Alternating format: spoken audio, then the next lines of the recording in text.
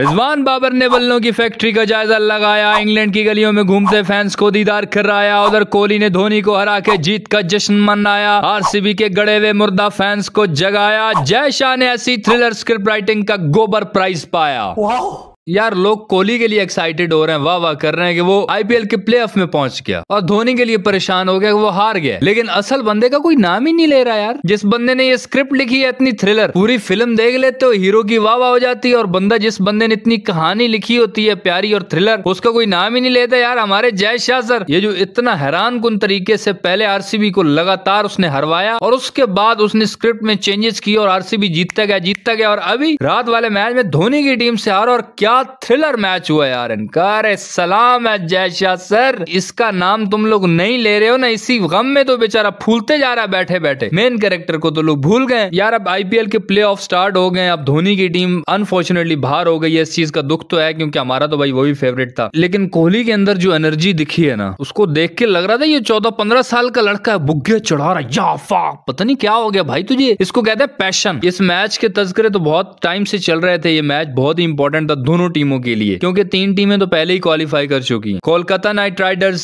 Sunrisers, Hyderabad, Pat Cummins ने अपना बीस करोड़ हलाल किया है भाई, और राजस्थान रॉयल की टीम। बस चौथी टीम की वजह से सुई अटकी हुई थी, लेकिन लोग इसीलिए परेशान थे कि दोनों ही मेन बंदे या धोनी को बाहर होना पड़ेगा, या कोहली को बाहर होना पड़ेगा। इन दोनों टीमों का रात को मैच था। मैच जैसे ही स्टार्ट हुआ आरसीबी वाले पता नहीं कुत्ते को वट्टा मार के आए आती दे मार साढ़े चार। कोहली ने जो छक्के मारे हैं, बैठ बैठ के वाह लगता है जैसे बाबर आज़म स्ट्राइक रेट के मामले में सीरियस हो गया ना, कोहली के बारे में भी लोग बहुत बातें करते हैं कि इसका स्ट्राइक रेट बहुत स्लो रहता है तो वो भी बहुत सीरियस हो गया अभी। आरसीबी ने स्टार्ट बड़ा ज़बरदस्त किए दरमियान में थोड़ी सी बारिश आई, लेकिन फिर स्टार्ट हुआ। कोहली ने उनतीस बॉलों पर 47 रन बनाए, डुप्लीसी। 39 बॉलों पर 54 रन बना गया। पट्टीदार ने 23 पे इकतालीस बनाए, कैमरन ग्रीन। इसका चेन्नई वालों ने कैच छोड़ दिया। जा, फिर उन्होंने सोचा वो ग्रीन है तो खुशी की निशानी होगी, सुकून की निशानी होगी, लेकिन उसने तो उनको लाल कर दिया। सत्रह बॉलों पर थर्टी एट रन वो बना गया। मैक्सवेल ने पंद्रह पे सोलह बनाए, कार्तिक ने छह पे चौदह और यूँ इन्होंने टारगेट दिया 219 रन का। जब चेन्नई वाले चेस करने आए तो गायकवाड़ को कप्तान बनाया था एम एस धोनी ने कि ये भाग दौड़ संभालेगा। उसने भाग दौड़ को भाग दौड़ समझ लिया। ज़ीरो पे ही भाग गया वो। तुमसे ना हो पाएगा। सचिन रविंद्रा ने 37 बॉलों पर इकसठ रन बनाए। हमारे मिचल भाई टक्कू बाबा ये पाकिस्तान सीरीज़ में लिए नहीं आया था। क्यों? क्योंकि मैं आईपीएल में बिज़ी हूँ। आई एम वेरी बिज़ी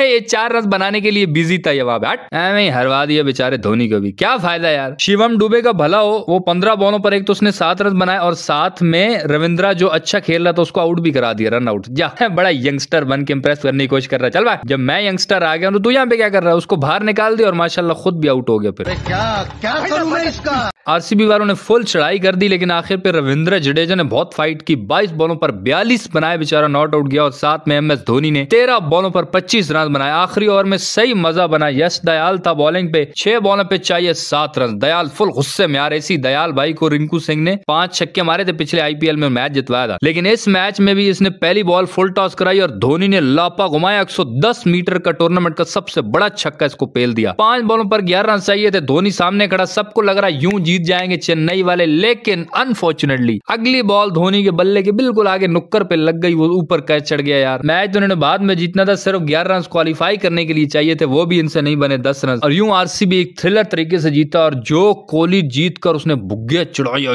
ये भाग रहा अनुष्का बाहर से तालियाँ बजा रही है। उधर अनुष्का तो कोहली को हाथ में लाती है तो उसमें एनर्जी आती है। तो बाबर भाई, आप भी कोई अनुष्का जैसी देखो ना, जो आपको भी बाहर से हाथ हिलाए, कोई एनर्जी आए है? क्या पता वर्ल्ड कप में ऐसे ही निकल जाए भाई। आप कब तक ये बल्लों की फैक्ट्रियों में जाकर सिर्फ़ बल्लों को ही चेक करते रहोगे? कुछ और भी करे ना बाबर भाई। बाबर और रिजवान इंग्लैंड में वो बल्लों की फैक्ट्री में गए थे ग्रे निकल जिनकी है ना वो जो इनको स्पॉन्सर करते हैं। वो पूरा लकड़ियों का ऐसे स्टॉल बचा हुआ, ऐसा लगता है वो आरे पे आए हुए जहाँ लकड़ियाँ काटते हैं ना सिंपल मुझे लगा, भाई, इन दोनों ने ठेका ले लिया हमारे स्टार्स कोई साइड बिज़नेस तो नहीं कर रहे? वहाँ इन्होंने अपने बल्ले शल्ले चेक किए वर्ल्ड कप के लिए तैयारी कर रहे हैं और फिर इंग्लैंड की बाहर गलियों में घूम रहे थे मेन और वहाँ का सिंपल है यार, इतना वो रश नहीं करते। उधर गलियों में घूम रहे, एक का दुक्का फ़ैन मिल जाता, उसके साथ बाबर सेल्फी भी बनवा रहा है, आराम से ऑटोग्राफ भी दे रहा है। लेकिन इधर बेचारा यही बाबर आया था ईद पर, अपने पुराने घर में। और बाहर गली में लोग ऐसे इकट्ठे हो गए थे जैसे फ्री में चावल बट रहे हो। वो अंदर से रजिया गुंडों में फंस गई, वो मिनते कर रहा था, खुदा का वास्ता है मुझे जाने दो। लेकिन अवाम ने नहीं जाने दिया। तो इसलिए मजबूरी होती है इन बेचारों की। यहाँ नहीं फिर सकते, लेकिन वहाँ बड़ी अयाशी में ये भी खुश होते होंगे ना वहाँ। इतना कोई तंग नहीं करता उन्हें वहाँ गलियों में घूम रहे हैं, भाई, अयाशी कर लें आप लोग। जितनी करनी है कर लें, बस प्लीज़ अब जो 22 मई से हमारी सीरीज़ स्टार्ट हो रही है इंग्लैंड के साथ, उसमें एंजॉयमेंट के चक्कर में ना पड़ जाना। प्लीज़ वो सीरीज़ जितवाना और हम फैंस की थोड़ी उम्मीदें जगाना। खैर, ये सीरीज़ स्टार्ट होने में तो यार एक दो दिन रह गए, अगर आप लोग कहते हैं तो पाकिस्तान और इंग्लैंड पर एक कंप्लीट डिटेल वीडियो बना देते हैं आने वाली सीरीज़ पर। तो इस वीडियो में भाई इतना ही सही लगे तो यार लाइक कर देना यूट्यूब चैनल छक्का मार को सब्सक्राइब करके। साथ घंटी को टर्न करके ऑल पे क्लिक कर देना ताकि क्रिकेट की दिलचस्प वीडियो आप तक पहुँचती रहे।